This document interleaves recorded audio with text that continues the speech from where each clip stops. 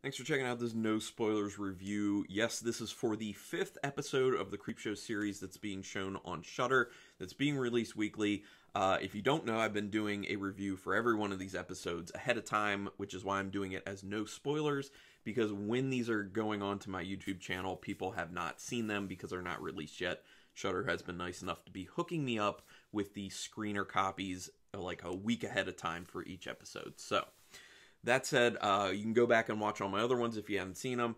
And let's get into episode 5. So, the two stories for this are Night of the Paw and Times is Tough in Musky Holler. One thing I want to say that applies to both of these stories up front is that the comic panel aspect of things, which has been used throughout the series, is used the heaviest in these two stories. Um, it could go wrong, but I actually think it works with these. It's mainly done for backstory effect. Uh, well, and in the Night of the Paw actually starts the the storyline with it, and with a lot of the stories, that's kind of how they do some of the comic paneling. They start it that way, but um, this one, I th- I think both of these actually, this episode, these two stories, it works really well how they incorporate the comic panels into telling backstory for things. Um, it's cool. I like it. I like the way it works. I know there might be some people who don't really dig it, but I dig it. Okay, so for Night of the Paw, this one is written by John Esposito, who wrote who wrote the scripts for Graveyard Shift. He wrote a script for Masters of Horror, and he did Theater Bizarre. So he's used to some anthology stuff. Uh, directed by John Harrison, who has been hard at work directing a bunch of these stories for Masters of Horror. He did The House of the Head, All Hallows Eve, and Lydia Lane's Better Half.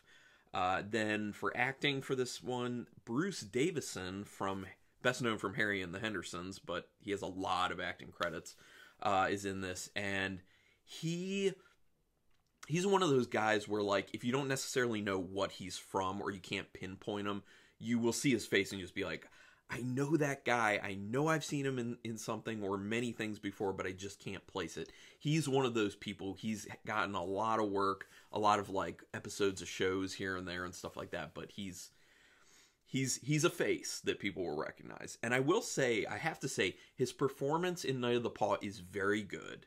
Very good.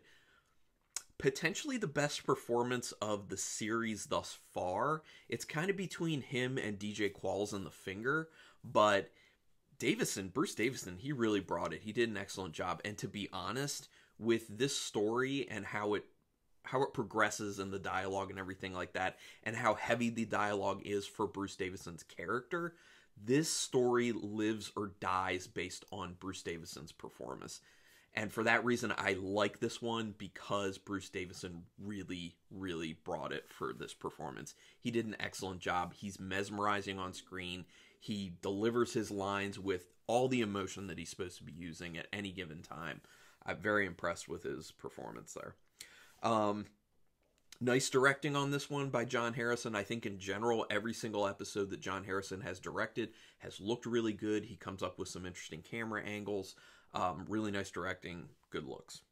Uh, the story inf- unfolds in a very intriguing way, at least very early. It arises kind of a, a lot of questions in the viewer's mind of like, well, what's going on with this? What about this? Why are we doing this? So um, it sets up a lot of mystery to the story, which obviously slowly unfolds, and they kind of tell you what's going on with it, as they should. Uh, this is one of the longer ones too. I think it clocked in around 25 minutes ish. Uh, so actually, I think this is the, thus far the longest of all the all of these Creepshow series stories there's a ton of dialogue to this. So there's not a ton of action.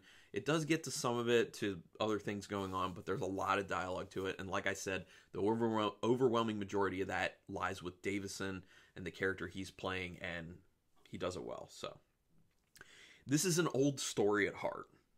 Uh, a lot of people already know this story. It'll definitely seem familiar. If you don't already recognize it based off the title, you will recognize it pretty much based off of uh, the first five minutes or so of it. Um, so it's an old story. It's a good story. It's stood the test of time, in my opinion. Uh, I like what they did with it for this, how they put their own kind of spin on it, the setting they used for it. It works. It's not anything phenomenal. It didn't revolutionize the story, it didn't change it massively. At the heart of it, it's still the exact same story, but I think that what they did to it didn't uh, it changed it enough that I enjoyed it and didn't look at it as oh it's the exact same story that I've seen a million times. So they updated it enough to be worth watching in my opinion. Uh, the story basically speaks to the fear of pain and loss. This is something that you know is touched on in horror quite a lot, and I think the way that the script was written, the way that the story unfolds, I think it touches on pain and loss very well, very effectively. It's impactful. There's a twist at the end that is pretty good. Uh, I did enjoy the twist. Sorry, my wife's upstairs cooking. Just dropped something. Uh, there's a twist to the story that is pretty good. Uh, my biggest problem with this, though, towards the end, is there's a terrible computer graphics moment. Terrible CG at the end. Everyone will know what I'm talking about when you see it, or if you're watching this after the fact when you saw it, everyone knows what I'm talking about. There's only one moment of CG in this, and it is awful. It looks so bad. It just speaks to why CG is terrible. It looks bad, and I they should have just gone a different direction to be honest. Just like edit that out and do it in a different way. Um, no CG. It was bad. Uh, so the other the other last thing that I didn't like so much is that there's a decision that one of the characters make one of the characters makes in this that they should have and would have learned a lesson about earlier in the story. And you'll know what I'm talking about. It's it, when it happened I was just like I this is not believable that this person is making this decision right now when they already learned they should not make that decision. So, you know, anyway, but I'd, I'd be interested to see what other people who've seen it think about that. So, obviously, put your comments down there.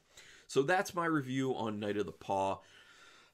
giving it a review or giving it five, uh, uh, giving a star rating on the five star scale with half stars in play.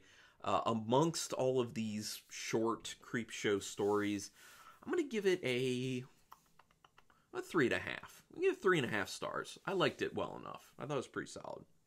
All right, so now let's move on to Times is Tough in Musky Holler, which was the second one. Written by John Skipp and Dori Miller. I could not find anything on a Dori Miller. I don't know who that is. John Skipp, uh, he was credited with the story idea for A Nightmare on Elm Street 5, The Dream Child. That's the most recognizable thing I could find. So, relative unknowns, basically. This one, also directed by John Harrison, so you can rest assured the directing's handled well. The camera work is good, it looks aesthetically pleasing. Nice work, John Harrison. Doing a good job. Very, very steady in the directing role there, bud. Uh, David Arquette is the big name in this one, and obviously most well known for the Scream movies, but he's done some other stuff out there. And he did a really good job with this performance.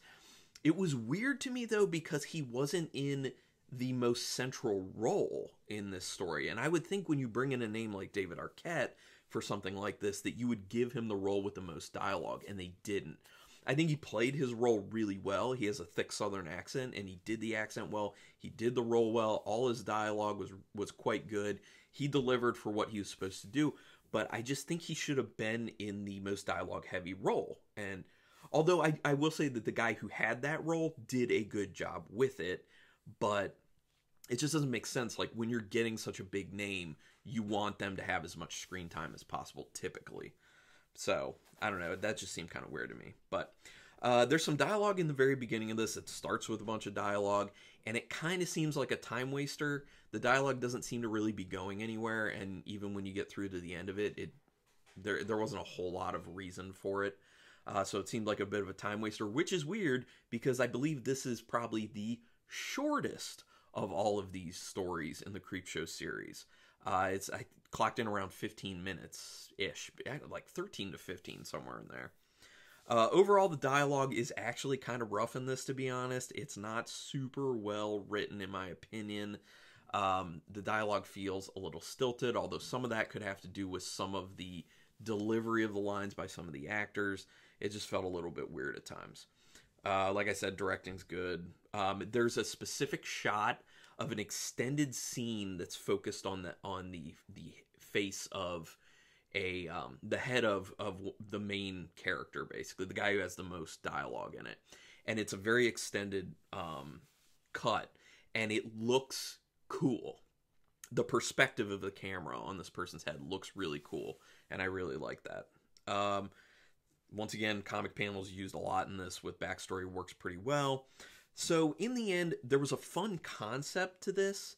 It was really, really slow kind of getting there, and then they kind of reveal what the concept of it is and where it's going, and it's interesting. It's original-ish, and I liked it, but then they start to have the resolution at the end, and all the, you know, things are eventually going to get crazy at some point with these, and that's when it's happening, and there's some good practical effects and some good gore and violence, but there's also a lot where they're cutting away from it. And it feels like this is your time when you need to show all of it. Because if you're doing this Creepshow series for Shudder specifically, what is the point of not going in all the way and showing as much gore and violence as you can when the story calls for it? Because the story's calling for it, but they are choosing to to cut away, to cut the camera away and show other things while what you should be seeing is going on. Granted, you see some of it, but in my opinion, it's not enough.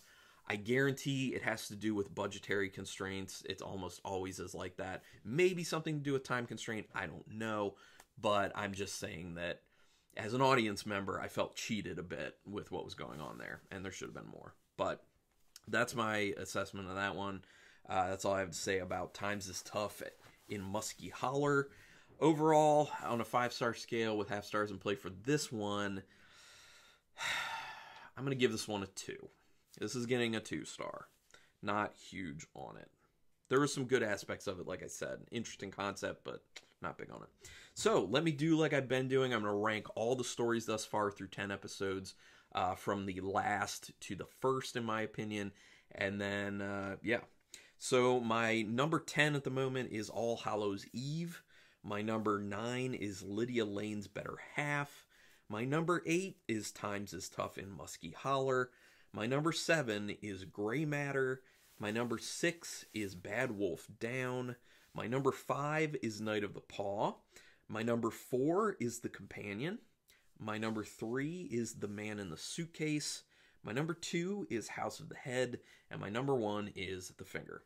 So there you have it. I look forward to the final one to see what my final rankings are on this one. And uh, yeah, hopefully everyone is, is enjoying going through this with me. I would love to hear some of your rankings too. Put it down there in the comments thus far through these 10 uh, stories. What are you thinking? And then we'll uh, we'll see what we think after all 12 are done. But thank you everyone for checking this out. Do me a quick favor, hit that subscribe. Can help me out a lot with my channel. Means very little to you because it takes like a second and it's painless and costs you no money. So just hit that for me real quick. I would appreciate that. But thanks for checking this out, and until next time, keep it brutal.